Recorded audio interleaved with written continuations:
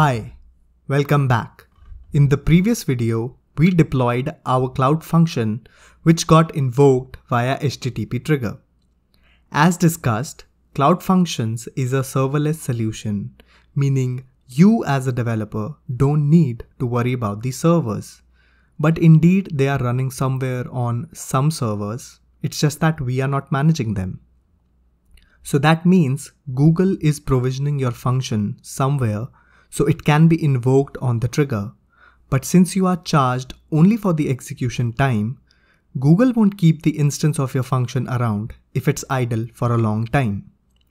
In such cases, when any subsequent request comes in, your function will experience what is generally called as cold start and your response times will be higher than usual. So why do our functions experience cold starts?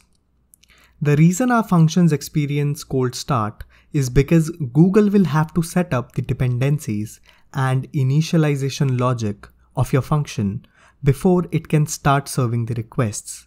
Hence, initial requests take an unusually long time than the following requests. So when do cold start happens? Cold start always happens just after your function has been deployed. Any request just after the deployment will experience the cold start, as this first request is going to cause Google to initialize an instance of our function. Another reason to experience cold start, even when your function has served requests, is that your function might have been recycled by Google due to long period of inactivity. So Google recycle your functions if they haven't been invoked for a long time and any following request will experience same cold start time as after any fresh deployment. Last but not least, our function will always experience cold start when our function is scaling out due to increased load. Any new instance added to handle the additional load will experience same cold start as fresh deployment. In essence, we cannot eliminate cold start problem but we can reduce its impact. Let's see how. As I discussed in the previous video as well, we should keep the dependencies of our functions to minimum. More dependencies means more packages to download at the start, ergo high boot times.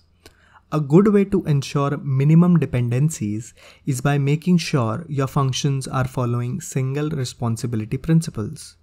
If your function is not trying to do a lot of things, chances are they won't be needing a lot of dependencies. Another way is to use more popular versions of dependencies so that there is a high chance that those packages are in Google Cloud Functions cache. And last, you should try to lazy load the global variables. If your program has some global variables or global initialization code, that will run before your function starts serving the request. So you should try to lazy load any such global variable to ensure low boot times. Also, if there are some variables which are getting used in only some code paths, you should initialize them in that code branch only.